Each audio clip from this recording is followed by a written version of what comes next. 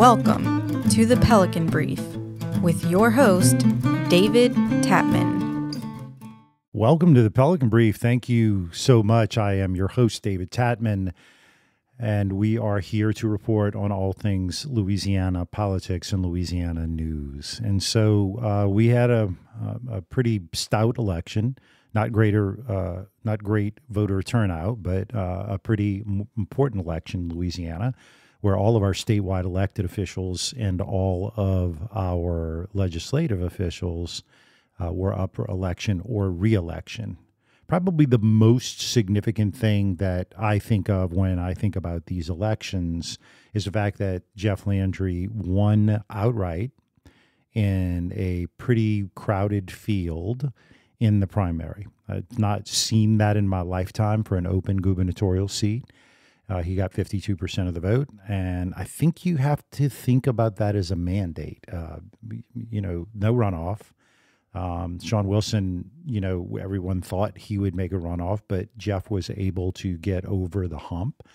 And now Jeff has not only, I think, a mandate uh, in terms of his role as governor, but also uh, a lot of time that governors aren't often uh, able to have uh, when elected because usually you would win it in a runoff sometime in November. So from November to January would be a very, very tight transition period to get people into place. Jeff Landry winning this in the primary gives him a lot of time to uh, work on uh, transition and other things. And so there were a lot of uh, legislative elections. I'm not going to go into those. Uh, there were some big Senate races uh, across the state. Uh, you had uh, um, uh, you had some incumbents that were challenged. Uh, some one was defeated. you had some pretty aggressive campaigns across the state. You had a lot of open seats where senators were um, were moving on, and so you had senators like. Um, Pope in uh, Livingston Parish, uh, and Valerie Hodges won that seat over fellow House member uh, Buddy Mincey. You had uh, other seats uh, that were up for election where there were some, you know, pretty pretty hotly contested seats, but where there were only two candidates. And another example of that would be uh, the seat that uh, was held by uh, Bodi White, uh, and a House member uh, won that seat.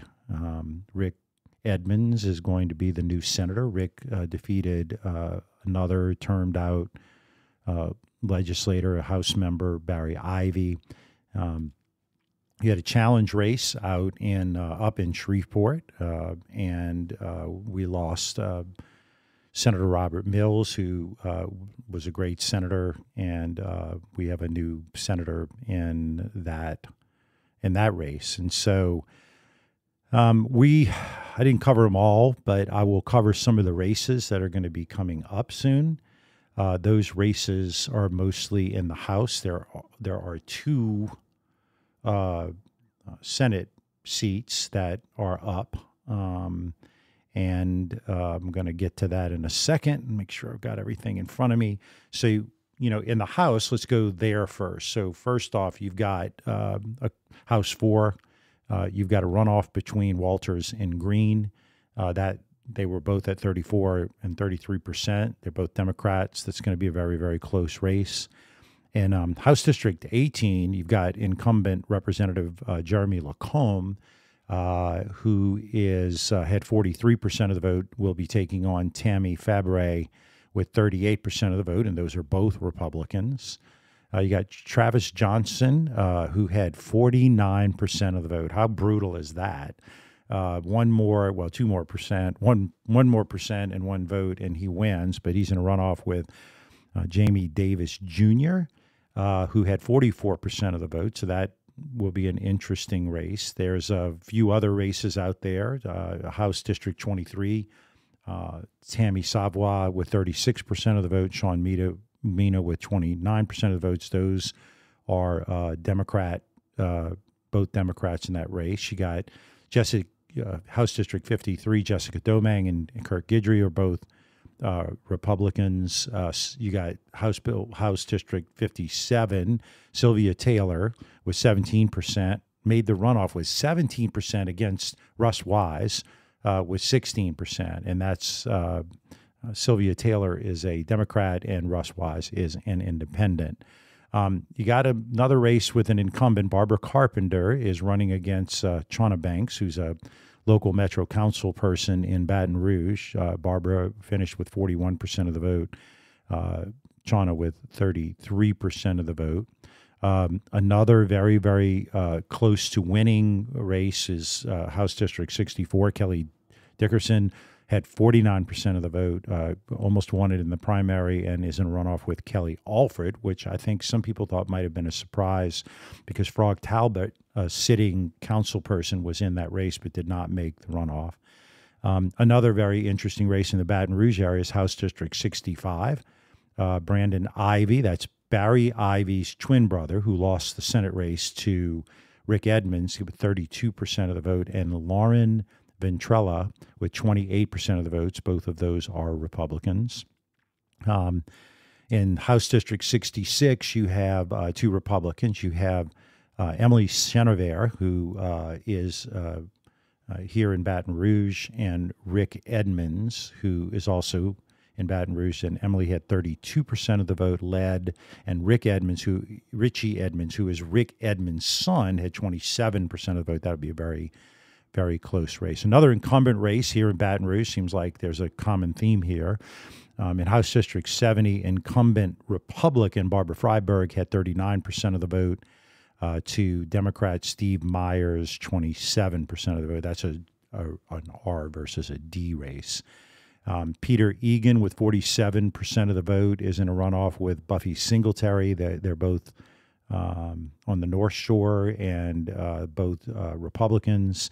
Republican in House District 75, Republican John Wyble had 48% of the vote, and uh, Democrat Kelvin May had 26% of the vote. John is a Republican, uh, and Mr. May is a Democrat. Um, and the House District 89 seat on the North Shore of uh, uh Lake Pontchartrain, um, Kim Carver had 44% of the vote and is in a runoff with Josh Allison, who's uh, an attorney. Uh, they're both Republicans. Kim Carver's a banker and, and, and many other things.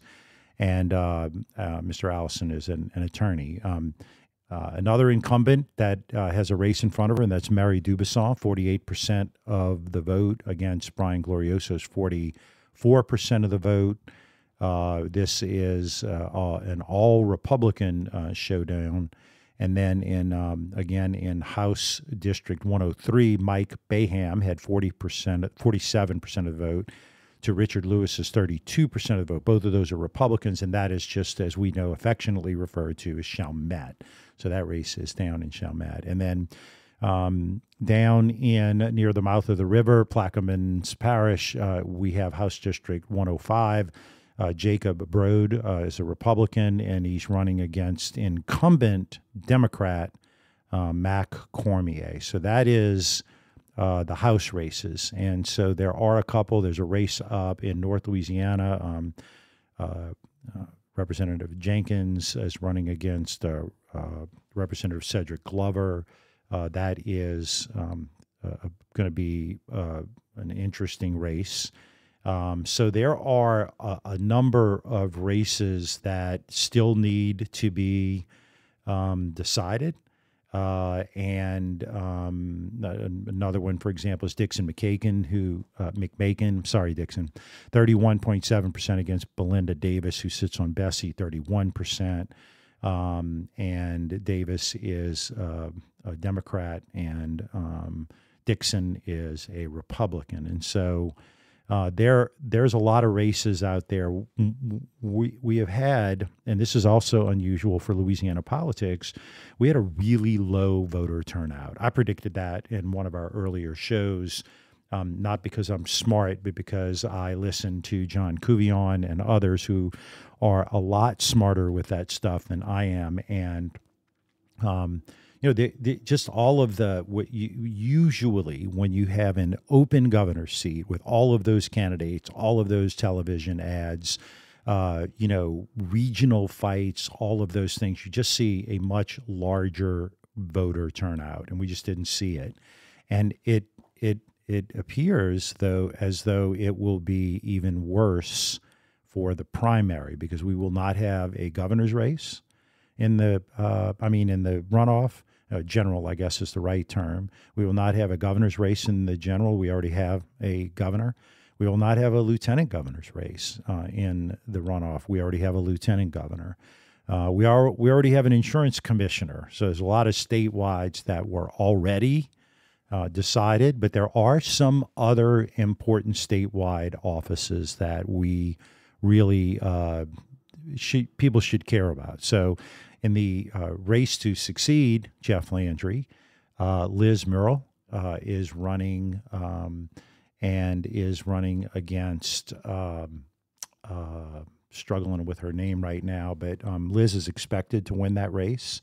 The polling that I have, uh, the fact that I can't remember the name is a little embarrassing, but uh, Liz is going to win that race. But she only wins that race if people show up and they actually vote, right? And that is going to be like a really, uh, really, really key uh, point. It's it's incredibly important to um, to get out there. I'm sorry, Liz's opponent is Lindsay Cheek. So Liz, uh, Liz is the current Solicitor General in the Attorney General's office. Liz is an amazing lawyer, amazing human being, uh, and I mean, you know, look, a good friend of mine. I'm, you know, I'll pull no punches. Um, Liz should win that race going away.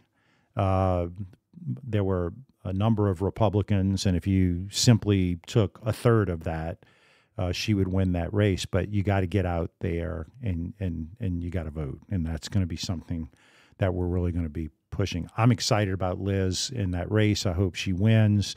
She's an amazing um, lawyer, amazing human being, and is doing a great job as Solicitor General, and she'll be a great Attorney General.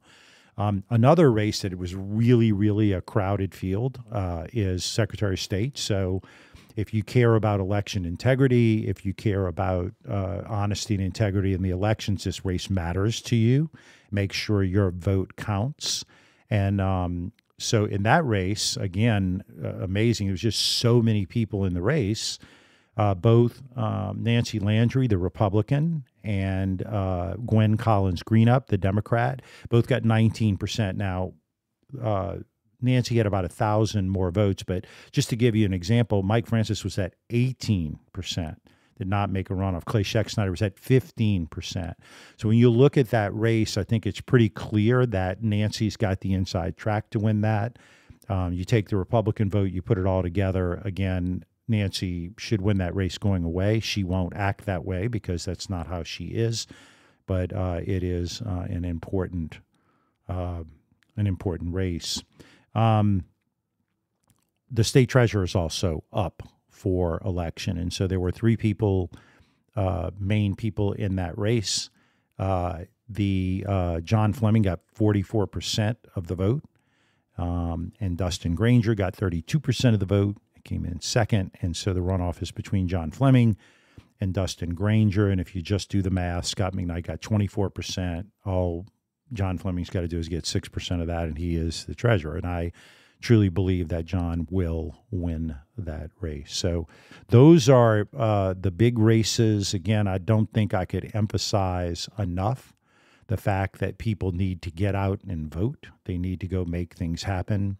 Um, as we get uh, to um, the transition, which is happening now, as we get through that, you're going to hear a lot uh, from me uh, on that. The two big players in Jeff Landry's transition are Lane Grigsby and um, uh, former gubernatorial candidate uh, Eddie Rispone, who ran against uh, John Bell, um, Boysie Bollinger is also involved in that, as well as a number of other people. And so um, the transition subcommittees have been set up. There are a lot of familiar faces on there.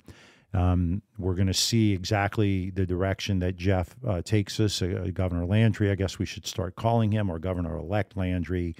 Um, the governor has, from the very beginning of this campaign, has talked about crime as being one of the biggest issues across the state of Louisiana, and that is true. Every poll that I see, crime is either number one, two, or three, and most of the time it's number one. So the governor is going to call, or he said he will call a special session uh, prior to the regular session, uh, which begins in March, and address issues related to crime. What those issues look like, we will see. We will see how the governor crafts that call. But I think we're going to start getting some information on that soon. The governor wants to, for by all indications, this is not a personal conversation, but by all indication, wants it to be limited to crime, uh, so that he can stay focused on what he promised voters and to try to address some of the issues that voters most care about.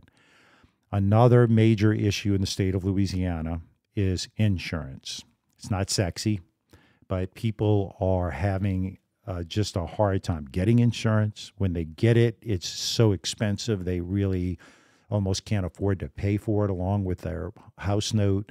Um, you take car insurance, which continues to uh, grow uh, and, and, and be more expensive. You take homeowners insurance, which continues to grow. We have we have a major crisis that our insurance commissioner Tim Temple wants to address head on. He would like to have a special session on insurance issues. And that may happen too, but right now the governor has not uh, suggested he call that. Remember, there's only two uh, people who can call uh, a special session that is, the governor and then the legislature collectively can call for a special session. And so I think there's an outside possibility we would see two set two special sessions, one on crime first and then perhaps one on insurance before we go into the regular session. But that remains to be seen. Tim Temple, our new insurance commissioner, is working very hard. Uh, I see him everywhere. He is working with everybody to try to come up with some solutions to address our property insurance issues, our auto insurance issues, and our flood insurance issues. Of course, there's not much he can do about that. We're going to have to we're going to have to work depend on our congressional delegation for that, but that that is what we can expect to see. So, what are some of the other big issues? We we know that uh, as we change into a new um, a new election cycle, that we will have new leadership in the Senate and new leadership in the House. The Senate appears to have solved that uh, problem, that challenge and has uh, looks like Cameron Henry from Metairie will be the Senate president. Uh, I think everyone is in agreement on that. Cameron was a House member for 12 years, uh, very knowledgeable about state government, has been, you know, a great House member and has been in the Senate for four years. And it looks like Cameron will be president of the Senate. In the House, that situation is more fluid. Um, indications are that uh, the candidates that are most expected to get that position would be Philip DeVillier from uh, Eunice, Louisiana, um, and Daryl Deshotel from uh, the Marksville area. Sorry, Daryl, I don't know your district exactly. Um, and then perhaps some others that uh, may emerge. Um, Jeff Landry recently suggested that there were six people that he would be pretty comfortable with being speaker, but that was a matter that the body had to address. And there were some other notable people like Tony Bacala from Ascension Parish, uh, um, Julie Emerson from Lafayette Parish, uh, um, uh, uh Jack McFarland from uh, North Louisiana. He's got a lot of parishes in his district. Um, and others. So we will see. The other thing we're really going to be paying attention to is how the committees are composed. So the committees of jurisdiction will be set forth by the president of the Senate uh, and the Speaker of the House. I think the Senate's probably going to be a little bit more predictable. Uh, just because we know a lot about Cameron, but in the House, depending on who the Speaker of the House is, that is what what the committees will look like. I do believe on the issues that uh, are most important to uh, the people of Louisiana. You're going to see committees uh, that deal with crime, like administration and criminal justice in the House and Jud C in the Senate, uh, are going to be probably uh, have a good majority of those people who are concerned about crime across our state so that those bills can get out of those subject matter jurisdiction. But we'll see because there's a lot of things that are fluid um, right now with the leadership. And as soon as we know that, we will begin to see the personality of the next four years develop. Do not be surprised if you see some key individuals who are elected officials. Uh, uh, namely House members or Senate members, mostly House members, who may be called upon to serve in either a an administrative type uh, position, like for example, maybe they pluck a uh, House member out of the House of Representatives and maybe put them in charge of the Department of Transportation. Uh, rumors out there are that former Speaker of the House, Taylor Barras, will be the Commissioner of Administration. Again, I didn't talk with Taylor nor Jeff about this, but that is one of the rumors that is out there. There's also so a rumor out there that Representative Mark Wright could be uh, the head of transportation. That would be Shawn Wilson's old job. Mark has been chairman of the jurisdictional committee, and so uh, if you have someone that knows a lot about something, sometimes it's better to pull them out and put them in your administration and put them to work. And so I think those things will develop as time goes on. Uh, if that happens, you'll see some special elections to fill those seats. Um, the Republicans will have a supermajority in both bodies um, with a little bit of spare. Um, and so we will have a Republican governor. All statewide elected officials will be Republican, and, and all but one member of Congress uh, are Republicans. So the Republicans really gain control in the Louisiana legislature. Speaking of Republicans gaining control or lack thereof, it's been eventful from a federal standpoint.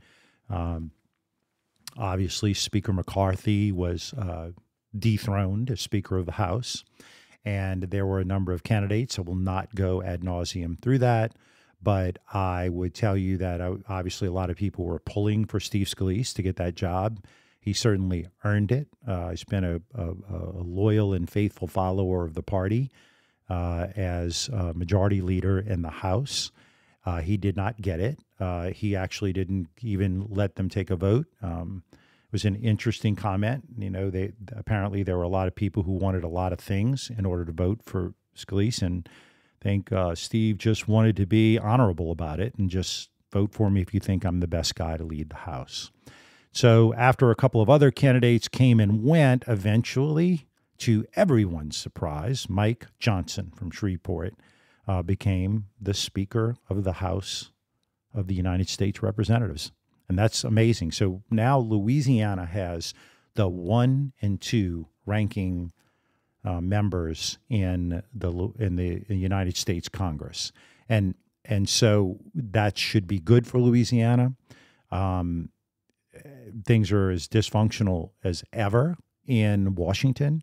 Uh, but I do think that if they get their collective act together, the future is bright for Louisiana uh, to bring infrastructure dollars in and to be able to do the sort of things that we want to do at the federal level. So I think what uh, that's kind of an overview of everything that's going on. Uh, you know, just want to be sure that not only I, I would imagine that most of our subscribers and followers, I think they vote. I would venture to say that uh, 95 to 100% of our subscribers vote on a very regular basis. And so I want to encourage uh, everyone uh, to do that.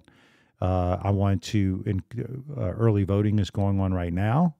And so I want to encourage everyone to try to early vote, uh, get to the polls. But more importantly, I want you to get your friends to vote, to get your families to vote. It is an incredible right and privilege to vote. Uh, it matters. Um, all three of those statewide races are important. There are four constitutional amendments that I'm not going to go into, but if you want to know how I voted, uh, you can email me and I'd be happy to share that.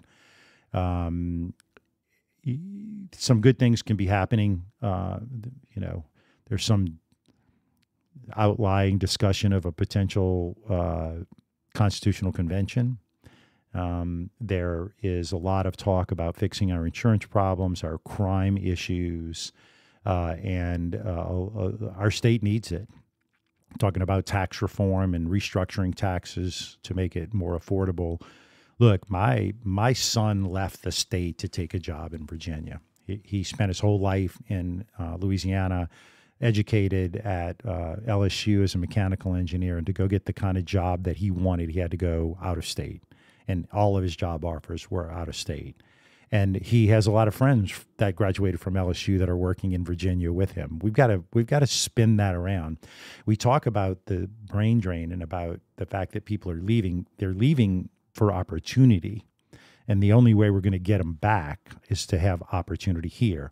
My son would come back in a heartbeat if he could, but the jobs are just not here. And so um, that's my plea to Jeff and the transition team bring those jobs back, bring my son back home, keep retirees here so that they can spend all that money that they made in the state of Louisiana right here in Louisiana, uh, as opposed to making it in Louisiana and going spend your retirement nest egg in Tennessee and North Carolina and Virginia. These are all real life stories. Alabama, look, y'all, Mississippi's kicking our butt. So, um, so that's it. That's our show. I hope uh, that that was helpful. If it was helpful in any way, um, just remember you can, if you're not following us, go in and subscribe. And that way, when the shows come out, they go right to your phone or your device or your computer.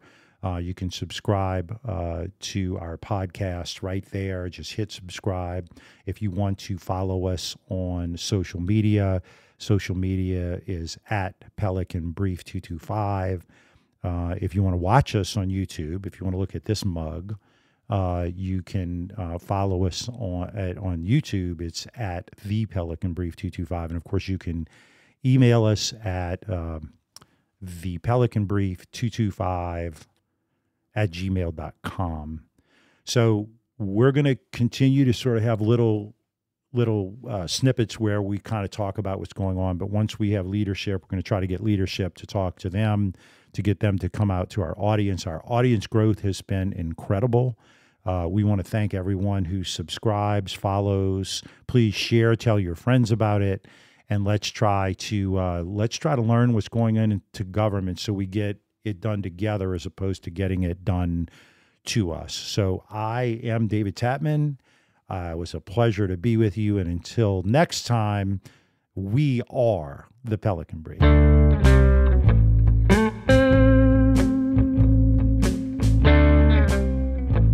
The Pelican Brief is an off script production.